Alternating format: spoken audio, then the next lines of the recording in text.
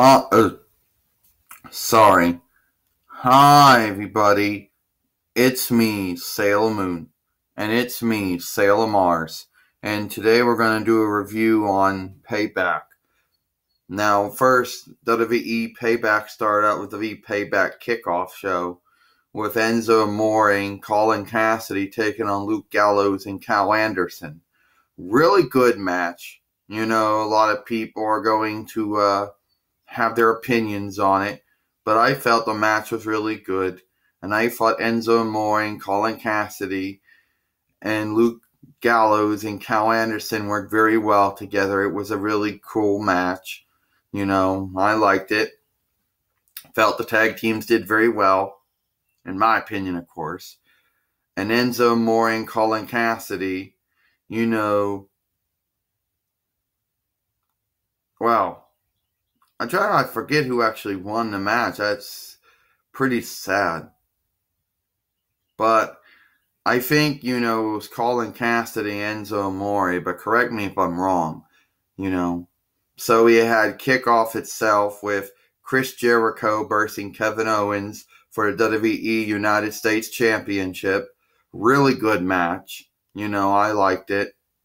I felt that Chris Jericho and Kevin Owens worked very well together and this being the third out of the three matches they've had against each other, I felt that it worked very well together. And I was surprised Chris Jericho defeats Kevin Owens and becomes the two time WWE United States champion. The next match we had, can I go on Sailor Moon now? Sure.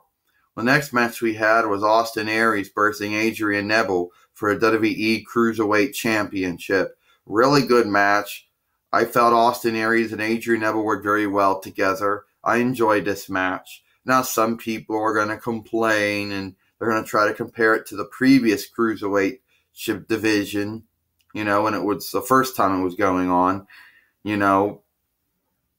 And I, that's their opinion, you know. But I think Austin Aries and Adrian Neville work very well together. Austin Aries wins by disqualification because Adrian Neville got himself to qualify by putting his hands on the referee from across the ring. Then the next match we had we had the Hardy Boys, Matt Hardy and Jeff Hardy, versus Antonio Cesaro and Sheamus Osari for a WWE Raw Tag Team Championships. And this is a really good match. I enjoyed it. I enjoyed the Hardy Boys as they worked very well together. They've been tagging up for years.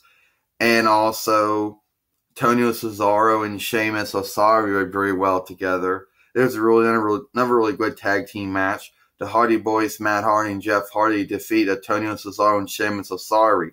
Then this surprise happens. Antonio Cesaro and Sheamus Osari turn heel, attack Matt Hardy and Jeff Hardy, the Hardy Boys.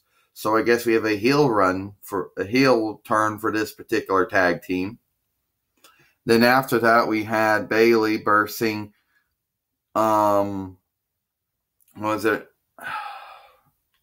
You know, Alexa Bliss for the WWE Raw Women's Heavyweight Championship, and I felt this worked very well together. I think Bayley and Alexa Bliss worked very well. I enjoyed it. There's going to be people who are going to complain you know, they're going to criticize, they're going to complain this match, they're going to claim it was their bathroom break or restroom break or whatever they want to call it, the loo break, um, whatever they want to call it.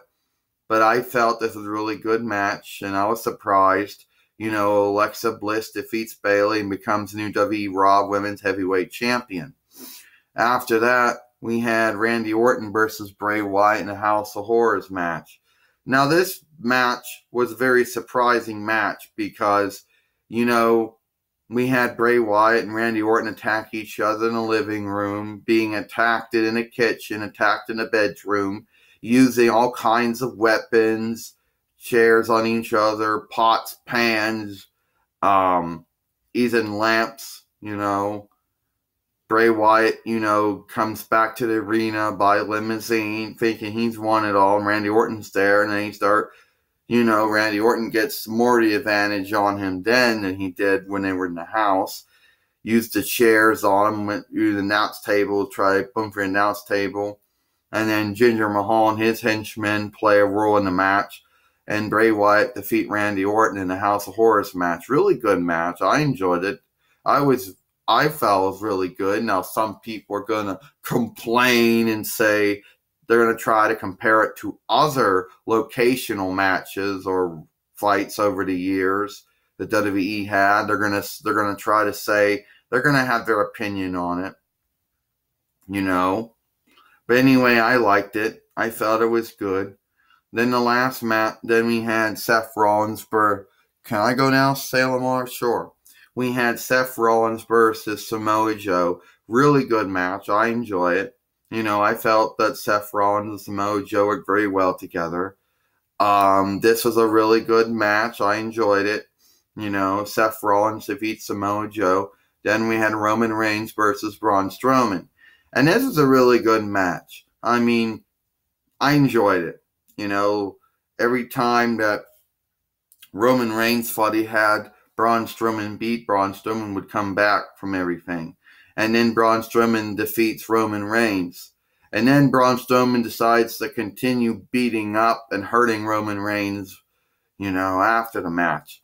So this feud between Braun Strowman and Roman Reigns is not over, but continuing you know, and I think it's a really good feud, you know. I like it. You know, Roman Reigns has to storylinely, you know, defend his yard, his newly acquired yard from interlopers and invaders, and I think it's a good thing. People have their theories over why Braun Strowman is doing what he's doing to Roman Reigns, though. You know, that's it. We felt I felt payback was really good. I enjoyed it. I'm Sailor Moon. I'm Sailor Mars. We'll see you tomorrow.